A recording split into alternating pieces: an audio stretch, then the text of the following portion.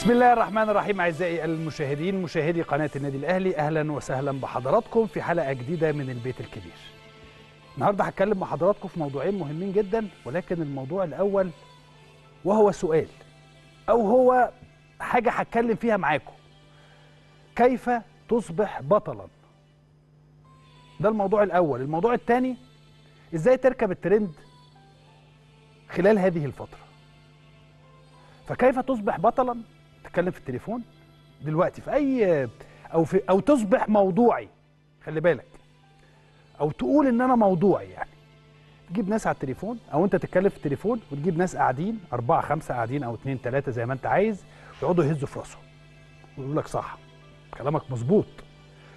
وأنت بتتكلم في التليفون تشتم النادي الأهلي وتنتقد النادي الأهلي وتشتم إدارة الأهلي وتنتقد إدارة النادي الأهلي و... وتفضل ماشي في هذه السكة وفي هذا الاتجاه. فتصبح بطلا عند جمهورك اللي بيتكلم في التليفون يعني. فدايما أو خلال هذه الفترة هو ده إزاي تبقى بطل. فتعمل كده.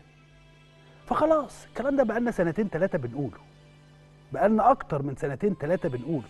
دايما لما كنت باجي أتكلم مع حضراتكم كنت بقول في حاجة اسمها الترند الإيجابي. ممكن تركب الترند الترند ولكن اركب الترند الإيجابي وليس السلبي. طب إيه يا عم المقدمة اللي أنت عمال تقولها لنا دي وعمال تقول لي كيف تصبح بطلا وتجيب أربعة ويهزوا لك راسهم؟ طبعا حضراتكم عارفين أنا بتكلم مع مين؟ والإعلام الموضوعي اللي إحنا ما بنسمعش إن هو موضوعي إلا في اتجاهات واحدة وفي أمور واحدة اللي هي ضد النادي الأهلي. أو زي ما قلت لحضرتك انت عايز اركب الترند فهعمل إيه؟ هطلع ادافع عن حاجة غلط. صح؟ هطلع ادافع عن حاجة غلط ولكنها ضد الأهلي. المهم إن أنا أطلع ضد الأهلي في أي حاجة. لمجرد إن أنا عندي بعض العقد الشخصية وبعض الأمور الشخصية وبعض الأمور النفسية اللي بتخليني أطلع أتكلم فهطلع أقول بيان مثلا أقول فيه إنه أنا مش هسيب حقي. مثلا يعني.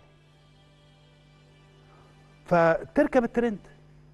المهم تطلع تقول حاجة ضد الأهلي أو إدارته أو لاعبيه أو كذا أو كذا أو كذا. طب هل معنى الكلام اللي أنا بقوله ده؟ وطبعا حضراتكم عارفين أنا عايز أتكلم في موضوع مين؟ عايز أتكلم في موضوع حسين الشحات. فهل معنى الكلام اللي أنا بقوله ده؟ إن أنا مع حسين الشحات في اللي هو عمله؟ عايز أقول لحضراتكم حاجة ج- حاجة مهمة جدا جدا. أنا من الناس اللي تعرف حسين الشحات كويس. أنا من الناس اللي بدعي يعني إن أنا بيني وبين حسين علاقة محترمة وجيدة جدا. حسين الشحات من الناس المحترمة والمؤدبة والمهذبة و... وواحد من اللعيبة اللي تقدر تعتمد عليهم في حاجات كتيرة جدا بره الكورة كصاحب كصديق. فدي حاجة. فأنا عايز أقول لحسين على الهوا أهو وأمام الملايين اللي بيتفرجوا حسين أنت غلطت. حسين انت تستحق كل عقوبة اتقالت عليك وكل كلمة اتقالت عليك خلال الفترة اللي فاتت فيما حدث أمس في المباراة. مهما كانت الاستفزازات ومهما كانت الأمور ومهما كان ما فعله لاعب نادي بيراميدز ولكن أنت حسين الشحات. أنت بت- بتنتمي للنادي الأهلي. فاللي أنت عملته ده غلط وغلط كبير جدا جدا جدا. طيب الغلط الكبير المفروض يحصل فيه إيه؟ أول ما يحصل غلط. في أي بيت عندنا في الأسرة المصرية بيحصل إيه؟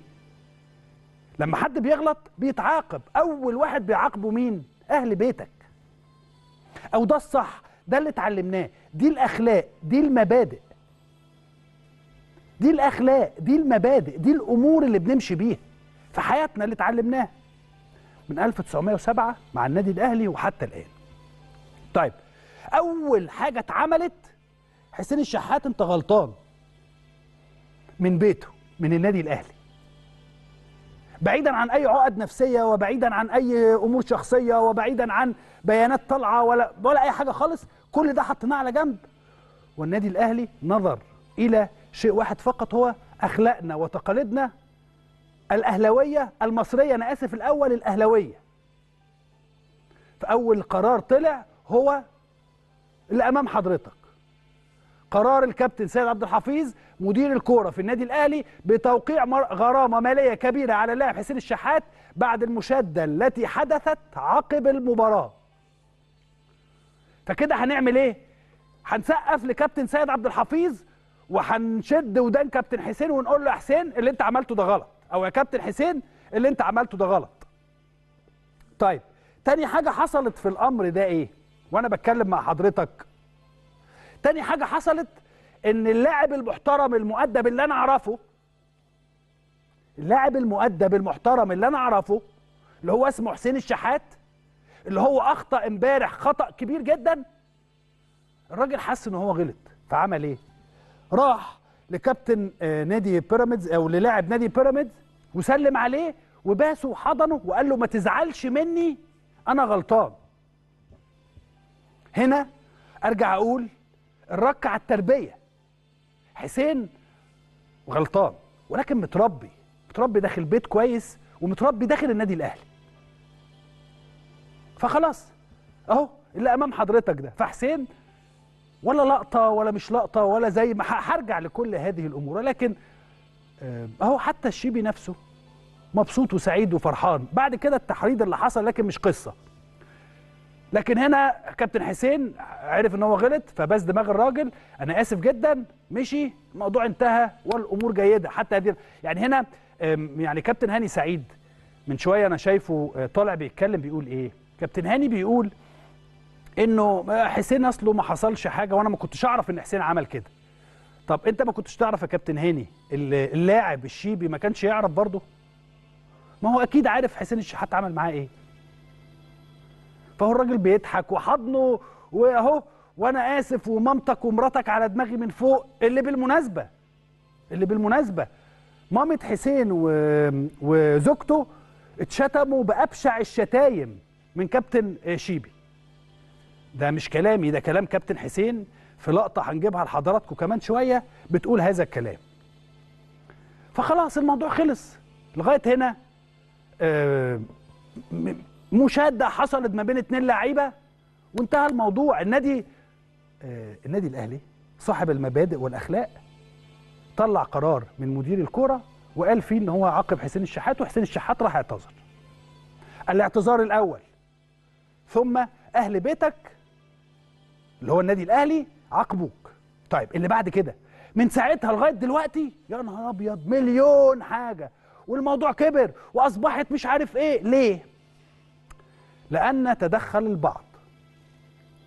بعض من لا يشجع النادي الأهلي تدخل وعملوا إيه؟ على الرغم من البعض دول لو تيجي تبص عليهم هتلاقيهم إيه؟ اللي رفع ال shoes بتاعه للجمهور اللي ضرب لعيب قبل كده قدام الناس ولم يحدث أي شيء. لم يحدث أي شيء. فتلاقي كل واحد فيهم دلوقتي عامل فيها بطل. طالع أنا البطل بقى. أنا هاخد اللقطة ولكن على ال social media. هو ده اللي عايز ياخد اللقطة على ال social media بالمناسبة يعني. فيطلع واحد يقول لك مش عارف إيه على الرغم من حسين قال لك أنا غلطان. مرة تانية أنا ما بدافعش عن حسين وكلمت حسين 100 مرة وقلت له إن أنت غلطان يا حسين وإن أنت تستاهل أي عقوبة وقال صح فوق دماغي من فوق. مفيش مشكلة خالص. ولكن أنا هنا ادي حسين الشحات 100 مباراة. ادي حسين الشحات هرجع لكم للاعتذار ده ولكن ادي حسين الشحات 100 مباراة. قول إن حسين الشحات غلط فأنا مش هديله ماتشين هديله 100 ماتش. بالمناسبة حسين آه، يعني أعتقد أنا ما أعرفش أنا ما سألتوش وما أعرفش ولكن لو اللائحة بتقول 100 ماتش خلاص ما عندناش مشكلة في هذا الأمر أو أنا ما عنديش مشكلة في هذا الأمر.